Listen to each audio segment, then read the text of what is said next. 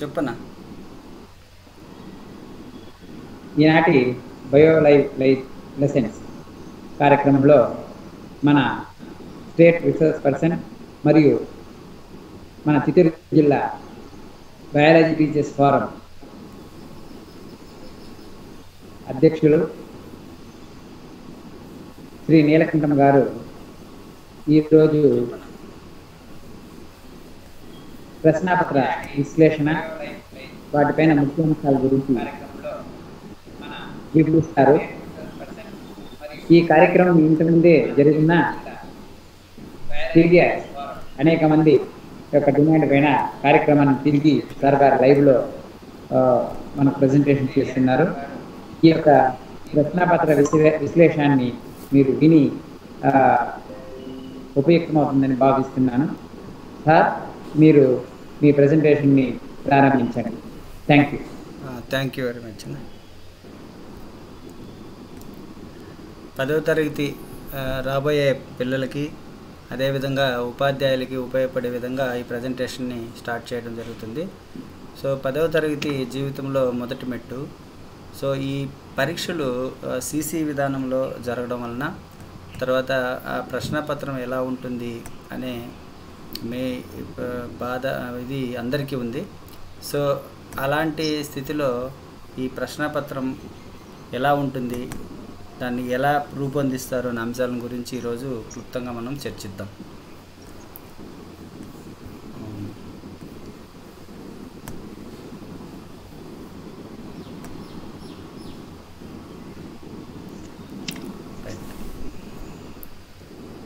Tenth class ప్రశ్నపత్రం అందులో ముఖ్యంగా biology science paper గురించి ఈరోజు మనం మాట్లాడుకుంటున్నాం. ఇందులో మన ప్రశ్నపత్రాన్ని మనమే తయారు చేసుకోవచ్చు అనే కాన్సెప్ట్తో ఈ ప్రోగ్రాం నిర్వహించాము. అంటే విద్యార్థులు కాస్త తెలివిగా జాగ్రత్తగా ఆలోచిస్తే వాళ్ళ ప్రశ్నపత్రాన్ని వాళ్ళే తయారు చేసుకోవచ్చు అనేది దీని యొక్క కాన్సెప్ట్. సో ఇందులో ఇది గత ఏడాది నా యొక్క కృషి. ఎన్విరాన్మెంట్లో నేషనల్ లెవెల్ అవార్డుని తర్వాత జిల్లాలో బెస్ట్ సర్వీసెస్ అవార్డు వచ్చింది.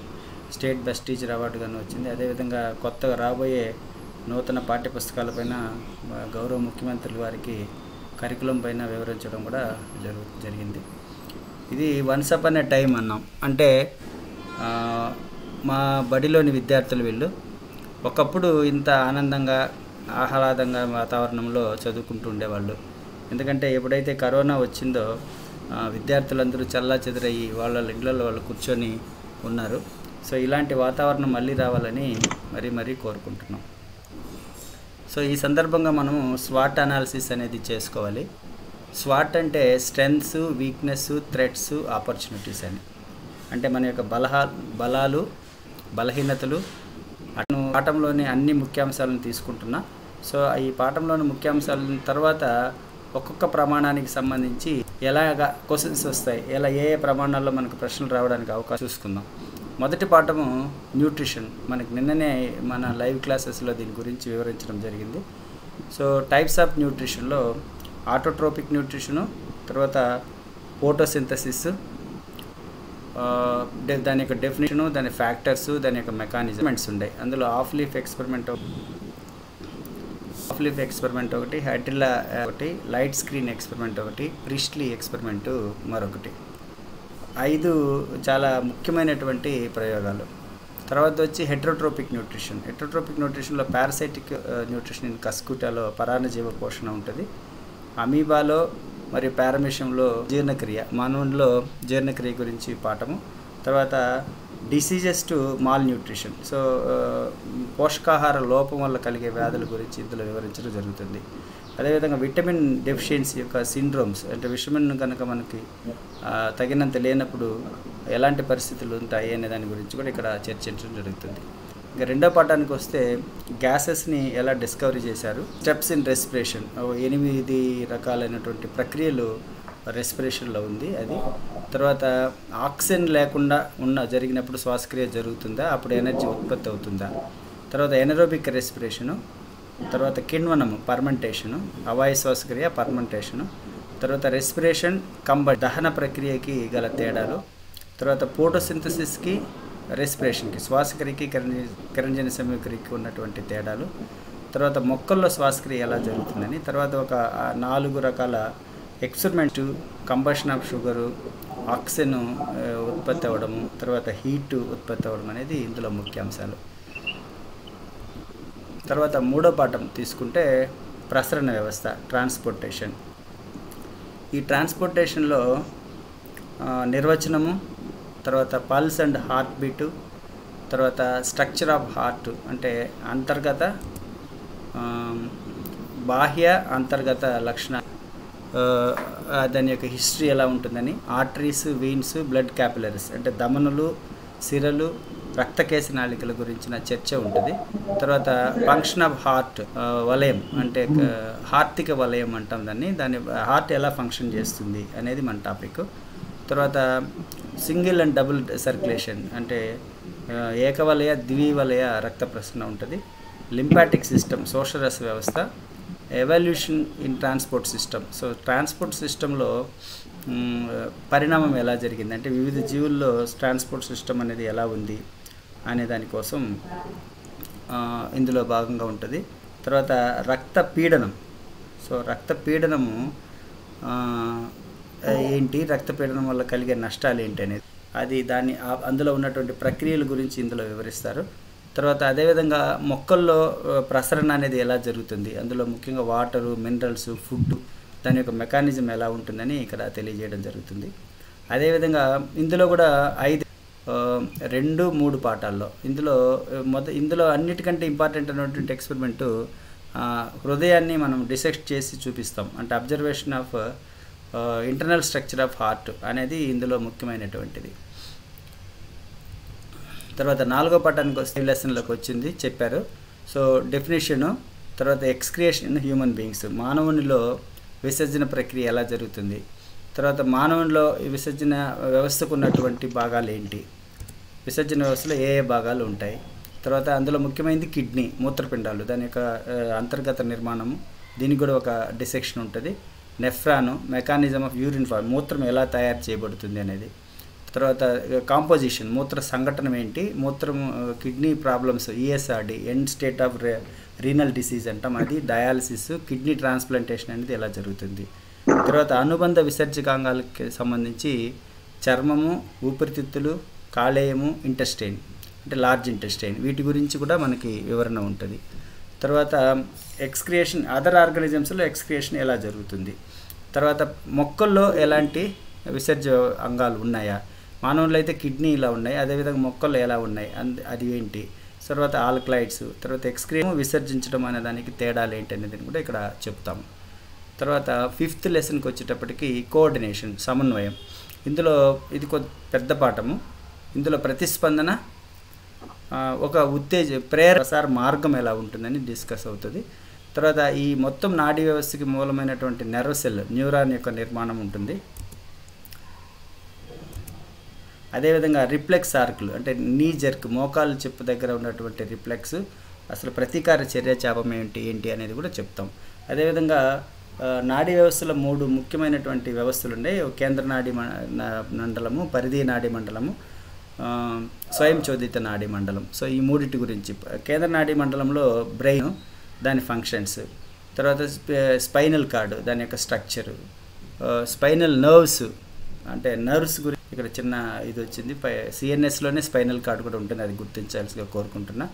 తర్వాత కెమికల్ కోఆర్డినేషన్కి వచ్చేటప్పటికి హార్మోన్స్ మానవుల్లో ఉత్పత్తి అయినటువంటి వివిధ రకాలైనటువంటి హార్మోన్లు ఫీడ్బ్యాక్ మెకానిజం. తర్వాత దీని తర్వాత మొక్కల్లో ఎలాగా ఈ కంట్రోలింగ్ అనేది జరుగుతుంది. అందులో పైటో హార్మోన్స్ యొక్క పాత్ర ఏంటి? చాలా ఇంపార్టెంట్ అనేటువంటి క్వశ్చన్ ఇది. మరియు హార్మోన్స్ ఈ రెండు చాలా ఇంపార్టెంట్ అయినటువంటి. అదేవిధంగా tropic and nastic movements in plants ఇది కూడా చాలా ఇంపార్టెంట్ అయినటువంటి ప్రశ్న. అంటే అనువర్తన చలనాలు ఏవి ఎన్ని రకాలుగా జరుగుతుందని. తర్వాత ఇందులో కూడా ఒకటి రెండు ఎక్స్పెరిమెంట్స్ ఉన్నాయన్నమాట. తర్వాత రిప్రొడక్షన్కి సంబంధించి ఇది కూడా చాలా పెద్ద పాఠము. సో ఈ రిప్రొడక్షన్లో అసెక్స్వల్ వెజిటేటివ్ సెక్స్వల్ కూడా అసెక్స్వల్ అంటే అలైంగిక ప్రత్యుత్పత్తి కింద మనం చదువుకుంటాం. సో అలైంగిక ప్రత్యుత్పత్తిలో ఏ అంశాలు ఉన్నాయి తర్వాత లా శాఖీ ఉత్పత్తిలో ఏ ఏ అంశాలు ఉన్నాయి తర్వాత స్పోమ్స్ ఫార్మేషన్ అనేది ఎలా జరుగుతుంది? Sexual reproduction male female reproductive systems fertilization embryo sacs ఈ పాఠం డిస్కస్ చేస్తుంది. తర్వాత సెక్సువల్ రిప్రొడక్షన్ ఇన్ ప్లాంట్స్ చాలా ముఖ్యమైనటువంటిది. ఫ్లవర్ ముఖ్య అంటే ఎక్కువగా పిల్లలు చాలా ఇష్టపడి వేసేటువంటి బొమ్మ పుష్పం. సో ఆ పుష్పంలో ఎలాగా ఫలదీకరణ జరుగుతుంది అనే అంశాలను ఇక్కడ చర్చించడం జరుగుతుంది.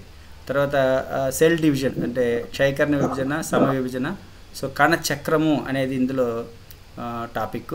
సో దాని గురించి కూడా మనం డిస్కషన్ చేస్తాం. అదేవిధంగా లై ప్రత్యుత్పత్తి సంబంధించినటువంటి ఆరోగ్యం హెచ్ఐవి ఎయిడ్స్ తర్వాత ఇతర సుఖవ్యాధులు తర్వాత వచ్చి బర్త్ కంట్రోల్ మెథడ్ కుటుంబ నియంత్రణ పద్ధతుల గురించి ఇక్కడ మాట్లాడడం జరుగుతుంది.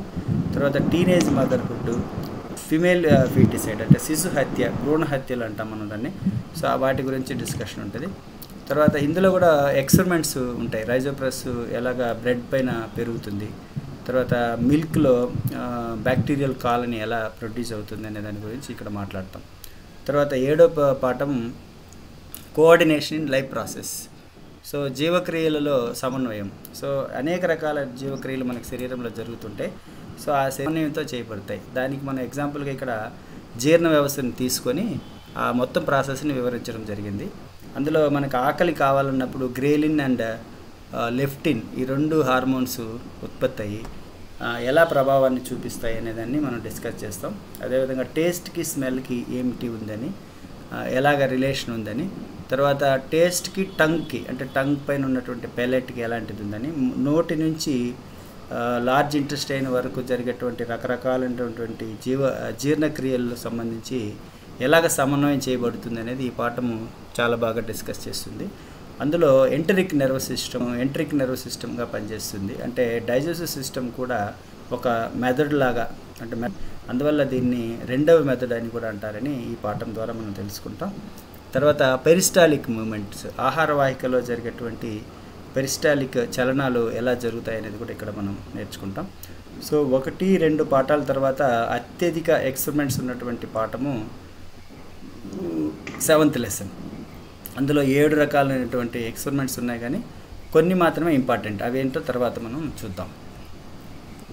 హెరిడిటీ సో హెరిడిటీలో అసలు మానవుడు ఎలాగా పుట్టాడు దగ్గర నుంచి మానవుడిలో ఇన్ని రకాల వ- విభిన్నతలు ఎలా ఉన్నాయి సో వీటన్నిటి గురించి నిర్వహించే చర్చించే చాలా మంచి పాఠం ఇది. సో వైవిధ్యాలు అనేటివి ఎలా ఏర్పడతాయి? దానికి గ్రిగర్ మండల్ చెప్పినటువంటి ఎక్స్పెరిమెంట్స్ ఏంటి? ఏకసంకర సంకరణ టైపు జీనో టైపు జనరేషన్స్ ఎలా ఉంటాయి? మండల్ యొక్క సిద్ధాంతాలు ఏమో ఎలా ఉంటాయి? Sex determination in human beings మానవునిలో హ్యూమ్ లింగ నిర్ణయం అనేది ఎలా జరుగుతుంది? తర్వాత పరిణామ సిద్ధాంతాలు లామార్కిజము డార్వనిజము వాటికి ఎవిడెన్సెస్ తర్వాత ఆ ఎవిడెన్సెస్లో హోమోలోగస్ అనలోగస్ ఆర్గాన్స్ ఎలా ఉంటాయి? తర్వాత ఎంబ్రియాలజీ పాజిల్స్ సంబంధించినటువంటి ఎవిడెన్సెస్ హ్యూమన్ ఎవల్యూషను కార్బన్ అందులో ముఖ్యమైనది కార్బన్ డేటింగ్ మెథడ్ సో ఇవన్నీ కూడా ఈ పాఠంలో మనం చర్చిస్తాం. చాలా పెద్ద పాఠం అయినప్పటికీ సెలెక్టెడ్గా ఇక్కడ నేను చెప్పినటువంటి కాన్సెప్ట్స్ని మీరు చూసుకుంటూ వెళ్తే కొంత సులభం అవుతుంది.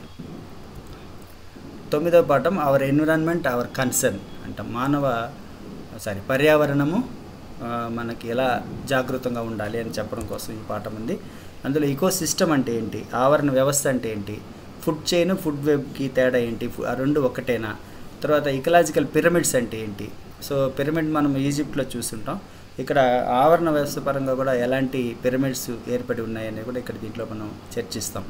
చాలా ఇంపార్టెంట్ క్వశ్చన్ ఇది. మోస్ట్లీ ఇది ఎయిట్ మార్క్స్కి ఎస్ఏ క్వశ్చన్ రూపంలో వచ్చేటువంటి ప్రశ్న. తర్వాత అదేవిధంగా energy flow in pyramids. So ఒక పిరమిడ్లో శక్తి ప్రసరణ అనేది ఎలా జరుగుతుంది? మానవుడు అని చూపించడానికి ఉదాహరణ కొల్లేరు సరస్సు తర్వాత తెలంగాణలోని ఏదులాబాద్ రిజర్వాయర్. సో వీటిపైన ఎలాంటి ప్రభావం చూపించిందని చెప్పడం కోసం. అదేవిధంగా స్పారో క్యాంపైన్ అంటే చైనాలో పిచ్చుకల్ని సంహరించారు. ఎందుకు సంహరించారు అనేది. సో వీటిని అన్నిటిని బేస్ చేసుకొని మనం ఎన్విరాన్మెంట్ని ప్రొటెక్ట్ చేసుకోవాలంటే ప్ర- నియంత్రించాలంటే ఎలాంటి చర్యలు తీసుకోవాలనేది ఈ పాఠం ద్వారా మనం తెలుసుకుంటాం. తర్వాత పదవ పాఠం న్యాచురల్ రిసోర్సెస్ ఇందులో ఈ పాఠము రెండు కేస్ స్టడీస్ని ఇస్తుంది. అంటే గ్రౌండ్ వాటర్ లెవెల్లో భూగర్భ జలాలని రెండు గ్రామాలని ఎగ్జాంపుల్గా తీసుకొని ఈ పాఠం చర్చిస్తుంది. సో ఈ ఈ రెండు గ్రామాలు కూడా ఒకటేమో వాటర్ని వాటర్ని సేవ్ చేయడానికి చర్యలు తీసుకుంటుంది ఒకటి తీసుకోదు. సో ఆ రెండింటి మధ్య ఎలాంటి తేడాలు ఉన్నాయి పంటలన్నింటిలో కూడా చర్చిస్తుంది. ఇది పెద్దగా పరీక్షకి మనకి ఇంపార్టెంట్ కాదు అది అనేది how the research is going on అని చెప్పడం కోసం ఈ కేస్ స్టడీ మనకు ఉపయోగపడుతుంది. వాటర్ ఫర్ ఆల్ తర్వాత community based farmer based interventions so రైతు ఆధారిత సముదాయ ఆధారిత ఇన్వెన్షన్స్ ఎలా ఇంటర్వెన్షన్స్ ఎలా ఉంటాయని చెప్తుంది. So irrigation sources in AP అదేవిధంగా న్యాచురల్ రిసోర్సెస్ అరౌండ్ అస్ మన చుట్టూ ఉన్నటువంటి న్యాచురల్ రిసోర్సెస్ ఎలా ఉన్నాయి? సస్టైనబుల్ సుస్థిరమైనటువంటి అభివృద్ధిని మనం సాధించాలంటే ఈ న్యాచురల్ రిసోర్సెస్ను ఫారెస్ట్ ప్రొటెక్షను రెన్యూవబుల్ సోర్సెస్ వాటి గురించిన చర్చ ఇక్కడ ఉంటుంది. అదేవిధంగా soil biodiversity fossil fuels minerals so వాటి గురించి చర్చ ఉంటుంది. ముఖ్యమైనది దీంట్లో conservation of four Rs so conservation కింద అంటే పర్యావరణం గురించి తెలుసుకోవాల్సింది ఫోర్ ఆర్స్ సో ఆ ఫోర్ అవర్స్ గురించి స్వరూపమైనటువంటి ఎస్ఏ క్వశ్చన్ దీనికి వచ్చే అవకాశం ఉంటుంది కాబట్టి దాని గురించి కూడా మనం చర్చిద్దాం తర్వాత. ఇప్పుడు అసలు ప్రశ్నాపత్రం ఎలా నిర్మించబడి నిర్ణయించబడుతుంది? ఆరు విద్యా ప్రమాణాలు రెండు వెయిటేజ్ ఇచ్చాం. సో ఆ వెయిటేజ్తో పాటు నేను ఏ ఏ లెసన్స్లో అవి రా వచ్చే అవకాశం ఉందని కూడా జస్ట్ ఒక చిన్న టిప్స్ లాంటివి మీకు ఇవ్వడానికి ప్రయత్నిస్తాను. కానీ ఏఎస్ వన్ అనుకోండి ఒకటి నుంచి పది పాఠాల్లో అన్ని పాఠాల్లో అంటే టెక్స్ట్ బుక్లో ఉన్నటువంటి అన్ని పాఠాలు ఉంది. ఫస్ట్ వివరించడం అనాలిసిస్ చేయడం ఉదాహరణలు ఇవ్వడం తర్వాత పోలికలు చెప్పడం భేదాలు చెప్పడం కారణాలు చెప్పడం వర్గీకరించడం. సో ఈ అంశాల కింద ప్రశ్నలు వచ్చే అవకాశం ఉంటుంది. అంటే అంటే పాఠంలో మొత్తం నుంచి అంటే టెక్స్ట్ బుక్లో మొత్తం నుంచి రీజన్స్ అనేదాన్ని అడగవచ్చు ఎక్కడి నుంచి అయినా కూడా వాళ్ళు కూడా అడగవచ్చు ఇక్కడ నేను ఈ చార్ట్లో ఏం రావచ్చు? లాంగ్ ఆన్సర్గా ఏం రావచ్చు అని కూడా మీకు ఒక చిన్న జిస్ట్ లాంటిది ఇవ్వడం జరిగింది.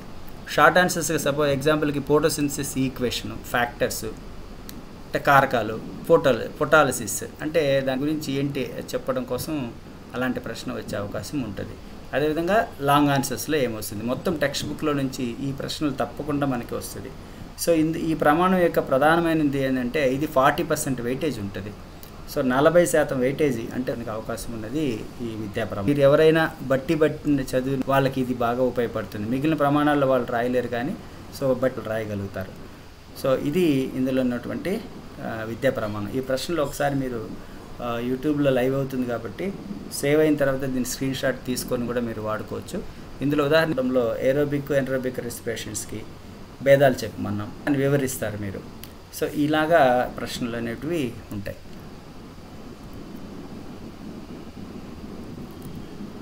రెండో ప్రమాణం వద్దాం రెండో ప్రమాణంలో క్వశ్చనింగ్ అండ్ మేకింగ్ హైపోథిసిస్ అనేది మన యొక్క సో ఈ రెండో ప్రమాణానికి సంబంధించి రెండో ప్రమాణానికి సంబంధించి టెన్ పర్సెంటేజ్ వెయిటేజ్ ఇచ్చాం. అంటే పది శాతం యాభై మార్కులకి ఐదు మార్కులు దీంట్లో నుంచి వస్తాయి.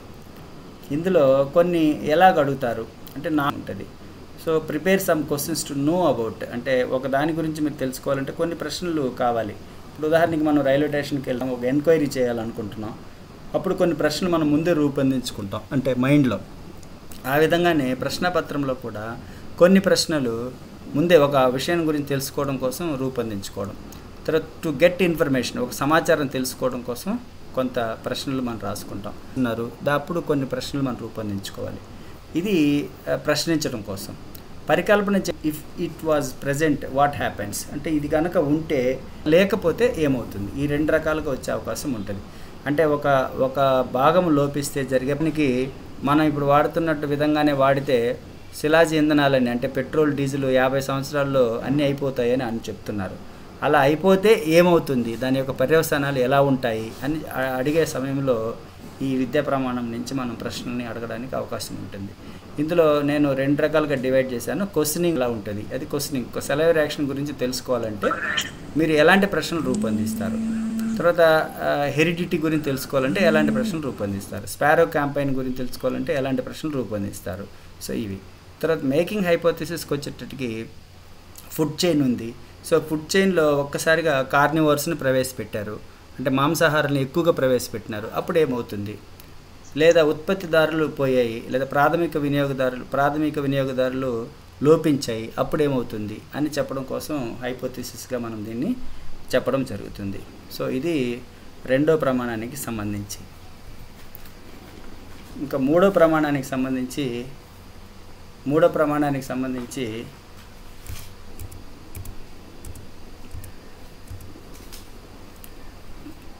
ప్రయోగాలు చేయడము సో దీనికి వెయిటేజ్ వచ్చి పదహైదు శాతము ఇవ్వడం జరిగింది. సో విద్యార్థులు ప్రయోగాలు చేయడం అనేది చాలా అత్యంత అవసరమైనటువంటి అంశంగా భావించు ఫిఫ్టీన్ పర్సెంట్ వెయిటేజ్ ఇవ్వడం జరిగింది.